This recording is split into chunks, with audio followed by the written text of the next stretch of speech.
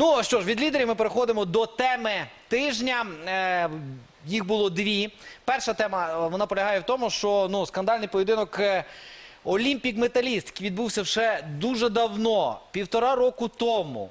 Контрольно-дисциплінарний комітет повинен був розглянути цю справу після свого висновку, після висновку комітету з етики і чесної гри. Контрольно-дисциплінарний комітет передав на доопрацювання в комітет етики і чесної гри. Комітет етики і чесної гри нібито опрацював, знову ж таки дав своє повноваження. Це було півтора року тому. І повинен був передати ці документи. Знову ж таки, в контрольно-дисциплінарний комітет Федерації футболу України. Але за півтора року документи десь загубилися.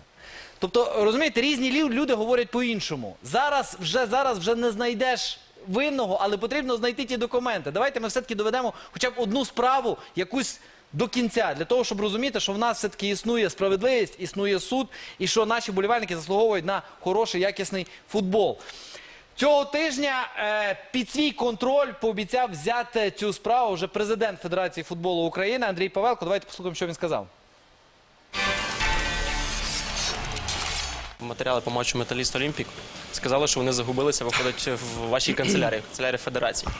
Ну, я, я думаю, что я по этому вопросу уже тоже прочитал это из э, интервью с прессой и дал команду, э, дал задачу для э, генерального секретаря, для исполнительной службы, для того, чтобы они провели внутреннее расследование и выявили факт э, утери или подтверждения этой информации. Як таке взагалі може бути? Я думаю, что такого не может быть. Ми будемо про це говорити да, довго. Ми все-таки, знаєте, якби це е, нас колись свого часу звинувачували в тому, що ми щось десь пересмикуємо. От зараз ми хочемо просто, щоб ця справа довелася до кінця. Будемо шукати всі ці документи. От всім світу будемо шукати документи. Дай Бог, щоб е, ну зараз бачите, вже на контролі президента Федерації футболу. Дай Бог, щоб все-таки вони знайшлися і ми отримали вердикт по цій справі.